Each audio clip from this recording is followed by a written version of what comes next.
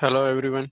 In this uh, lecture video, I will demonstrate how to use Excel solver to solve an optimization problem. So here we have uh, given a case. Uh, so this, I'm going to read this case for you. CV Fitness makes three fitness machines, exercise bikes, elliptical cross trainers, and treadmills. When packaged for shipment, their shipping volumes are 12, 15, and 22 cubic feet respectively. The finished machines are shipped via ground transportation to five stores in Philadelphia, Atlanta, Miami, Chicago, and Los Angeles. Uh, available vehicle fleet consists of 12 trucks and 6 tractor trailers. Each truck has a capacity of 15 cubic feet and each tractor trailer has a capacity of 2,350 cubic feet. The spreadsheet title uh, skeleton worksheet that you see here uh, includes the road distance from your plant, which is in Memphis, to each of the stores, along with each store's demand for the three fitness machines. The data represents one week of shipments for CV Fitness. So here is what we need to find. What is the best mix of trucks and tractor trailers to send to each destination that will minimize shipping costs per shipment okay? And these are the constraints given. Uh, all trucks and tractor trailers must be integer greater than or equal to zero. That makes sense. We cannot have negative trucks or tractor trailers the sum of trucks and the tractor trailers assigned must be less than or equal to the available tr- trucks and tractor uh, trailers which are 12 and 6 respectively. The total vehicle capacity for the vehicle assigned to each store must be greater than or equal to the volume required to be shipped to each store. So we're gonna take this first part of the case and solve it. And then these two things here you see one and two these are your homework assignments. So you have to uh, work through it and you know uh, save it as a different file. So this is one excel file. Once i'm done with solving this one what you would like to do is you know save it as another file and solve this one and then save it another file and solve this one. So in all you will be submitting three excel files with this submission so i'm going to do the first one here for you. Uh, i mean this one and then extensions one and two you have to do it at home uh, as a homework. So this is the skeleton worksheet given here. So here we have given all the data. Uh, we have uh, truck and tractor trailer their respective volumes 15000 1500 and 2350 and how much is the operating cost per mile and the available fleet which is we which means that we have 12 trucks and 6 tractor trailer. And then uh, the volume required in cubic feet for each type of product. So exercise bike needs 12 cubic feet uh, elliptical tra- cross trainer needs 15 cubic feet of space and treadmill uh, needs 22 cubic feet of uh, space in the truck or the tractor trailer whichever whichever vehicle uh, will be used to ship the product. So that's the data given here. Uh, these are the constants. Uh, they're not going to change. They're going to stay as it is. And then here the calculation in the results section. So here uh, we have been given the store demand. So these are the store five stores. Uh, distance uh, from the memphis plants to each of these stores are given. How many uh, miles are there from the memphis plant and for each store uh, the demand is given for each type of bike. So elliptical uh, exercise bike elliptical cross trainer and treadmill. So their demands are given here. So with this information what we have to do is we have to find a mix of tractor trailer and the truck that we would use to to you know uh, ship all the uh, different three types of products to each store.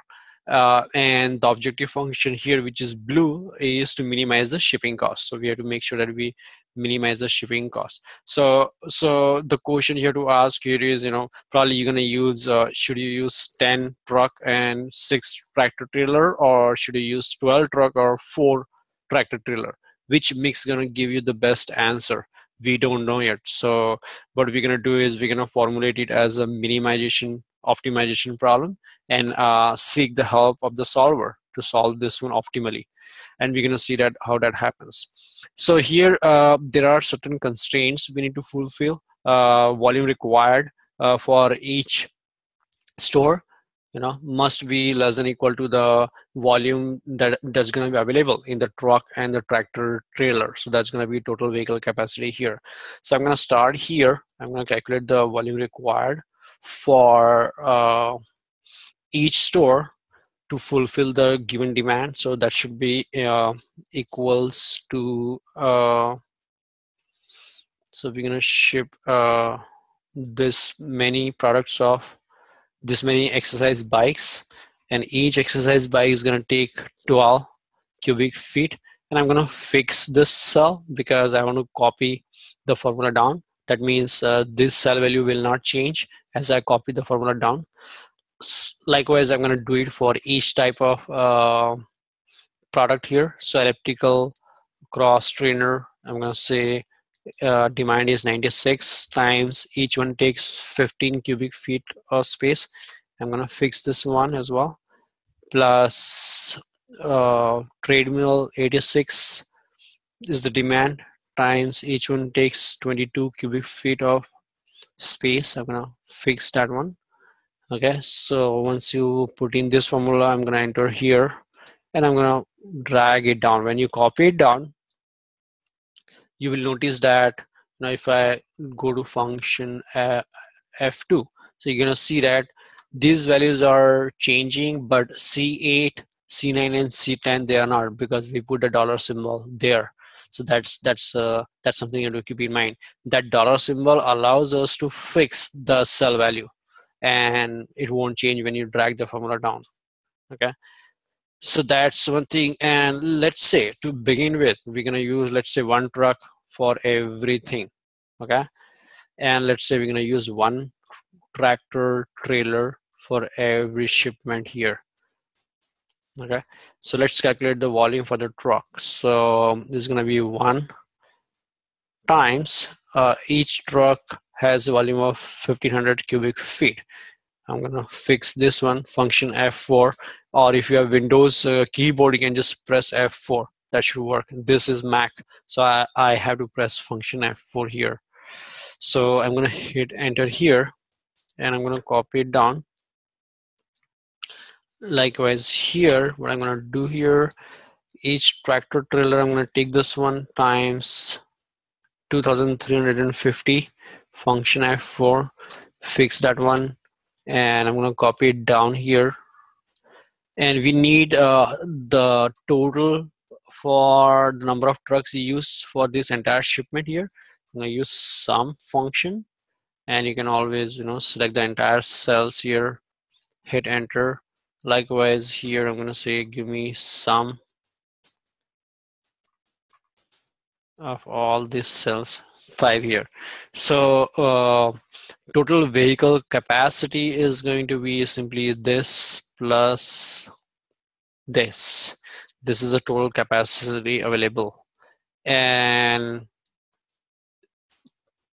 vehicle capacity utilized uh, how much of the capacity available we have utilized which is going to take the volume required divided by volume available. Okay so that's going to give us uh, capacity now this is 130 percent obviously it's not possible. Uh, that is one of the constraint. So the volume required should be less than equal to the volume available. So we're going to put that constraint here okay? That's something you have to keep in mind okay? Now let's calculate the shipping cost here. So shipping cost uh, depends on the number of trucks we are using the number of miles we are driving as well as the tractor trailers we are using and the miles we are driving. So I'm going to say here this times this many miles we are driving here times uh, each mile is going to cost us one dollar. So I'm going to say function F4 I'm gonna fix that. Plus, I'm gonna say same thing for the tractor trailer. So say six times the cost is going to be one dollar thirty cents. I'm gonna fix that one. Okay, so I'm gonna copy these two formula down here. So make sure you bring the cursor here, drag it down, and here we're gonna say total sum of shipping cost. Okay, so uh, what we have to do is uh, we have to satisfy all the constraints. Uh, so total number of trucks used should be less than equal to 12. Total number of tractor trailers used should be less than equal to six. Okay, and now we can do a lot of trial and error. I've been working with this a lot. So let's say this is the best solution I can come up with. Let's say num two number of trucks here, one here, two here, three here, and four here. So in total, we have the 12 trucks and tractor trailer. We're gonna use one here, one here. Let's say I'm not gonna use any here, and one here and one here. Okay. So uh, this is the best combination you can get. That's gonna satisfy all the constraints. So uh, percent of vehicle capacity utilized has to be less than equal to 100%. So in other words, the volume requ required should be less than equal to the volume available okay capacity available so we are satisfying every constraint here so this is 12 is equal to 12 4 is less than equal to 6 that's we are satisfying we are satisfying the volume constraint. Every truck is an integer and non-zero uh, non-negative number. So and you know keying in this uh, numbers gives us 18,122 as a shipping cost. So this this might look like an optimal solution but we don't know yet. Uh, trial and error is trial and error. You can try many different combination. Probably there could be some other combination which can further reduce the cost. We don't know. And for that what we're going to do is we're going to use excel solver. So uh, in the Excel solver, we have to kind of mention the changing cell values. So these are the values that are going to be changing. And we have to minimize the objective function value, which is the shipping cost. So we have to minimize the shipping cost by changing the combination of number of trucks and number of tractor trailer. So that's something we have to do here. Okay.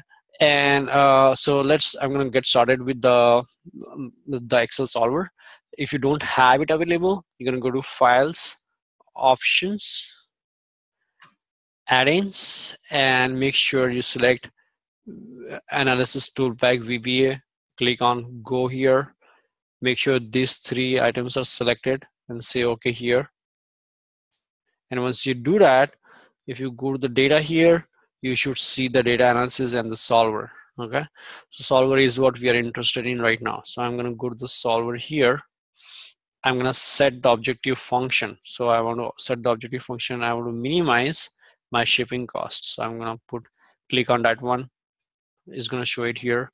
And I want to change my, let's say this trucks. And then I'm going to press the control key and select this one as well.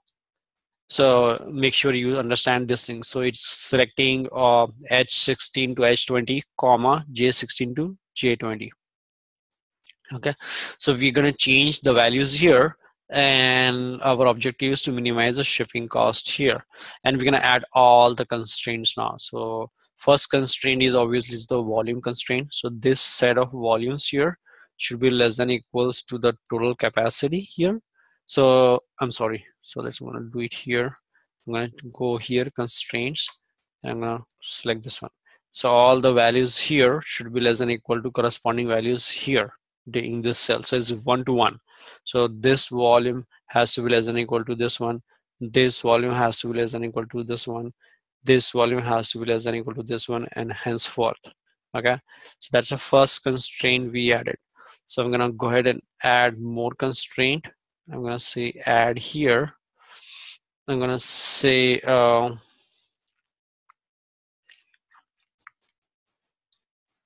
this number of trucks should be greater than equal to zero.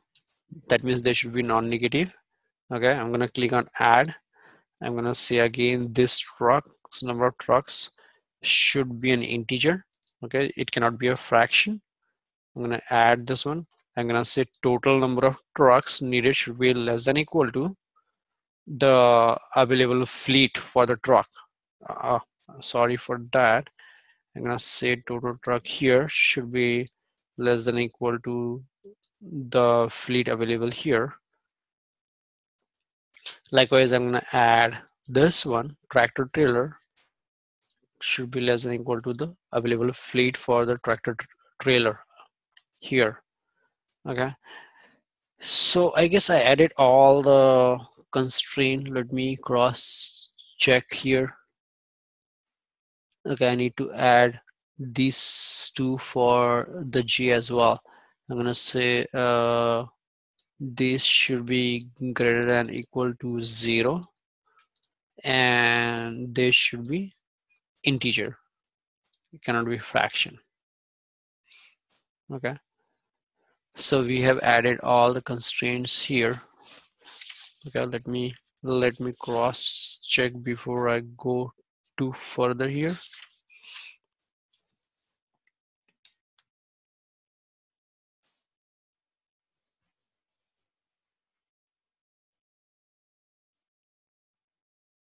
okay. So it looks like we have all the constraints here available okay? And I'm gonna go to the option here. Uh, solving limit. So it's gonna try for 100 seconds. Now depending on how complicated the problem is it could take more than 100 seconds or it could be done in few seconds. And here are the number of iteration it's gonna go through to solve this problems. And here solving with integer constraints so I'm gonna say integer optimality not within 5% but I want the the absolute solution here. So I'm gonna say zero here. Okay? I'm gonna say okay here. And simplex LP is uh, selected and I'm gonna cross my finger and hit on solve. Remember the cost right now by trial and error the best I could get was 18,122 can we beat this number? Can we make it lower than this one? We are seeking the help of the solver for that. So I'm gonna click on solve here solver has done his work and it has found a solution which is a great news. So we want to keep this solution here.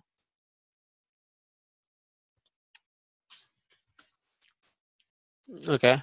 But this is not what I was expecting here. So looks like I might have missed one here.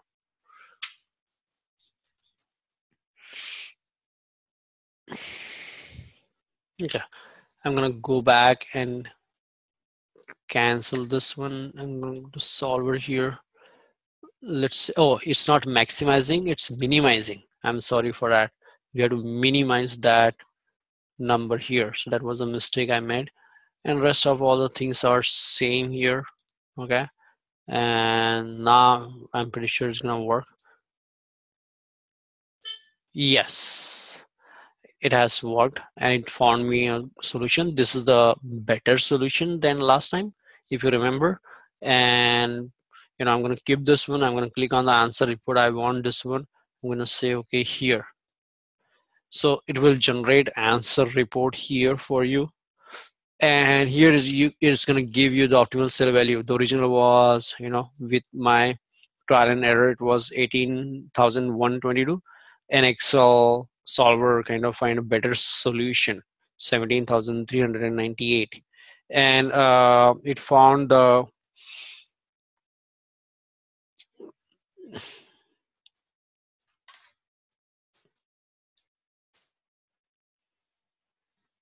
okay so uh, sometimes this misbehaves here so i'm gonna close the gap here okay i don't know why this is doing that maybe I can make it a little longer here.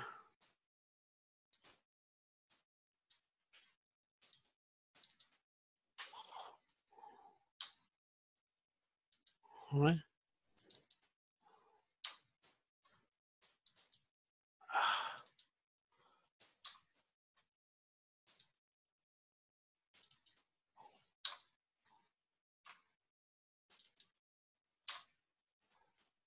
Okay, so I narrow it down because it was too white now. Now it looks better, right? So uh, these first are the trucks here. So it tells me the original value, uh, trial and error, and my final values. Okay. Uh, for the tractor trailer here, my original values and the final value that solver found here. Okay. And uh, here it gives us details about the constraint, what constraint we are satisfying and what not. So here, let's say function, I'm gonna again delete all those things here to make it better looking.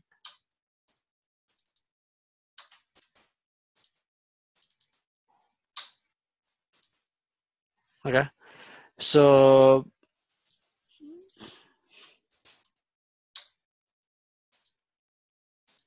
Okay. So it kind of gave you uh you can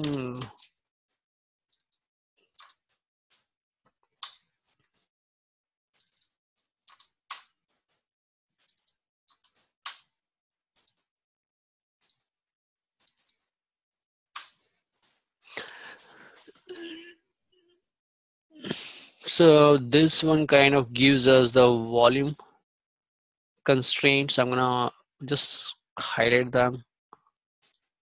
Okay. And this one tells us how many uh, trucks and tractor trailers we are using. So I'm gonna color that one. And this basically tells me whether they are integer values are greater than zero. Okay. Uh, so these are all greater than zero here, uh, which was binding constraint and they're all integers. So these are the constraint. Now you need to understand what is a binding constraint and what is not binding.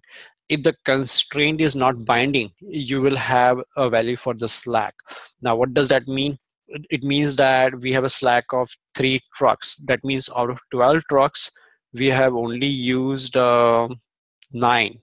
And then those values can be found here. So if you sum up this values here, two, three, four, five, six, seven, eight, and nine. So those are the nine trucks. And here also you can see we have only used nine trucks. So we have a available slack of three. So we have unused capacity of three here, and that's what this means here. But uh, when it comes to tractor trailer, we do not have any slack. That means we have used up all the resources and it's binding, which means that if you change the capacity here um, increase or decrease it will change the objective function solution.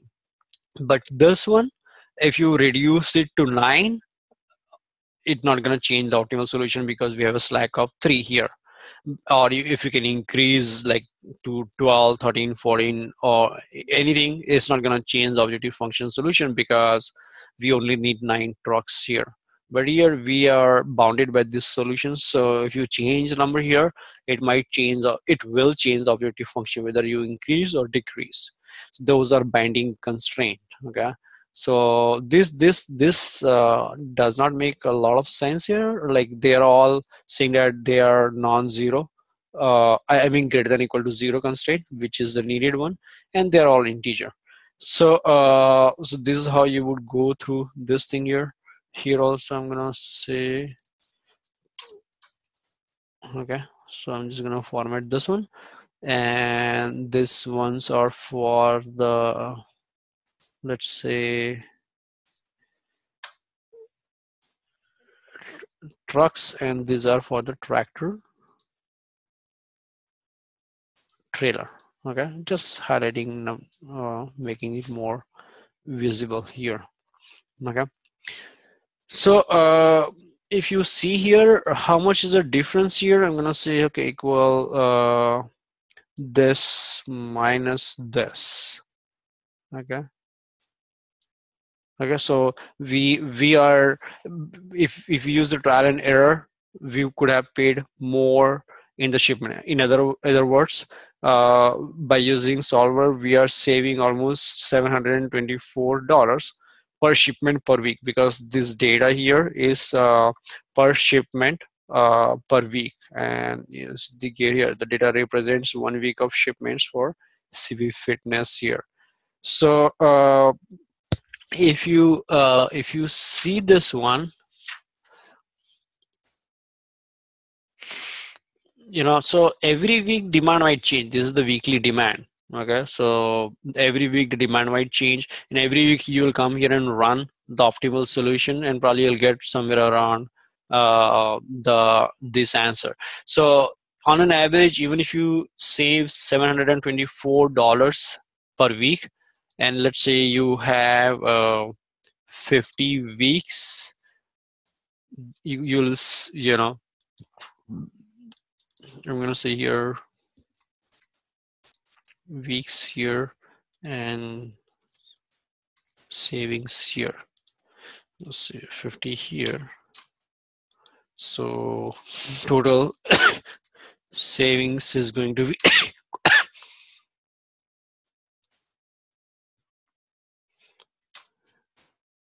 so it can result saving as much as 36200 in the span of 50 weeks. So although this number looks small but you know if you um, aggregate it over many weeks it's gonna you're gonna see a lot of savings. So that's something you have to keep in mind. So uh, you would write your recommendations. Uh, you're gonna start writing the recommendation here telling me you know how many of the total number of trucks they have used how many other tractor trailers they have used? How much was of those available? Uh, how much is the you know uh, this capacity here capacity utilization? Uh,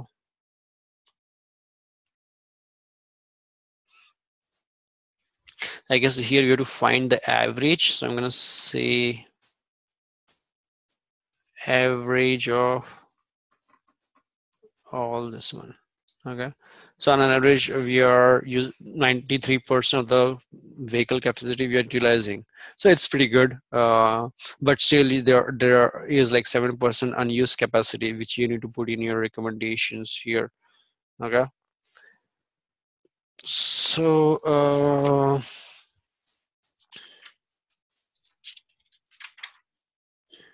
that's something you have to keep in mind here I'm just gonna check one thing before I'm gonna let you know. Um,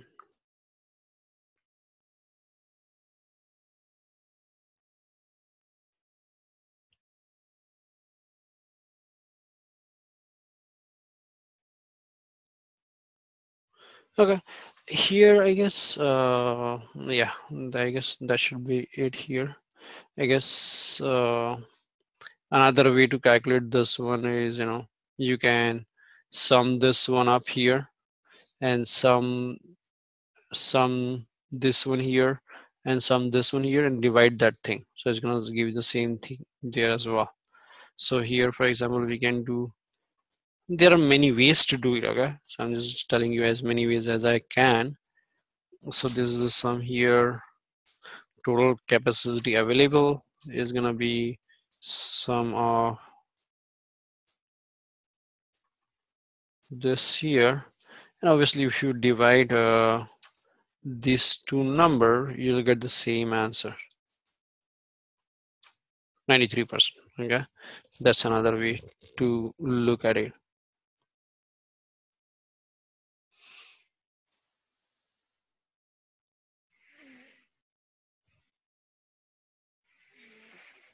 Okay? So uh,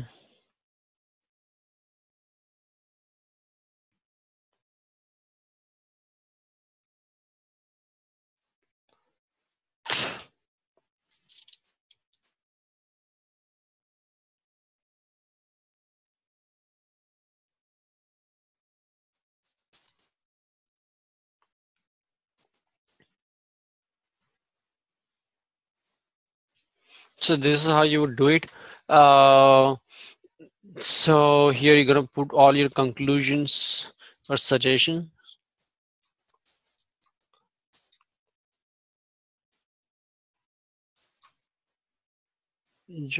Or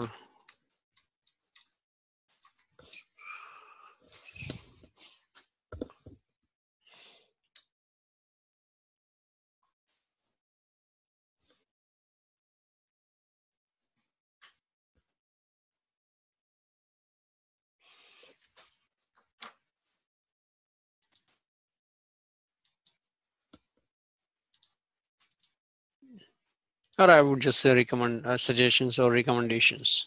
Yeah, that's it.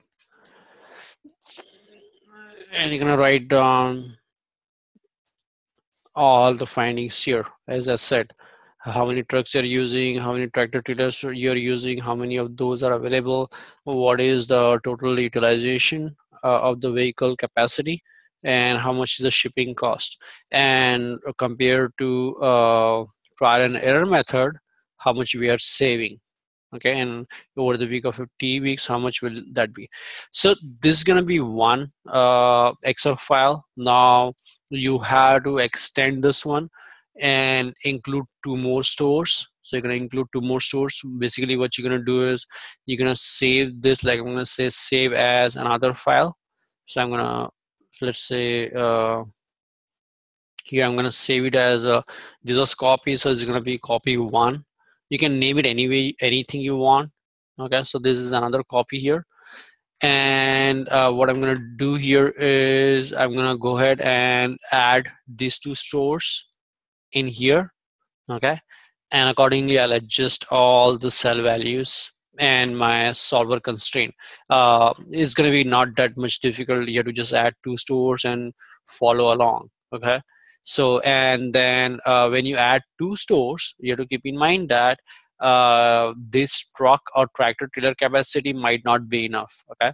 You have to keep that in mind because uh, because you're adding two more stores uh, so their capacity is going to be somewhat um, uh, you know somewhat capacity will be needed and probably you do not have enough fleet available. So what you have to do is when you try to solve it um, for the for example if you just uh, let's say make it five here okay?